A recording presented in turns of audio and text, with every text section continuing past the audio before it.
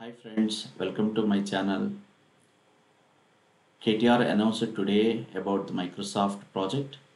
Uh, so Microsoft is going to invest 15,000 crores in Hyderabad to set up their data centers.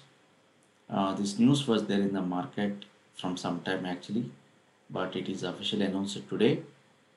Um, so Hyderabad data center is going to be fourth data center for uh, for Microsoft in India after Pune, Mumbai, and Chennai, and it is expected to be operational by 2025. Uh, Microsoft invested total 275 crores to acquire land parcels uh, at uh, three different locations in southern part of Hyderabad.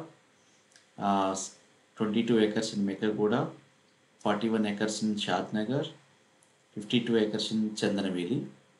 Uh, so Chandanaveli already has a major data center.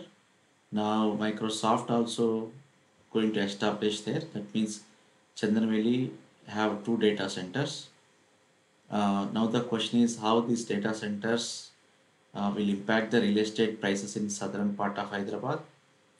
Um, so data centers generally won't generate huge employment uh, like regular uh, uh, companies. Uh, so what that means is I think we can wait. Uh, we can see the growth, then we can invest after thorough analysis. Uh, this is my personal opinion. So please do like, share and subscribe the channel for more videos. Thank you.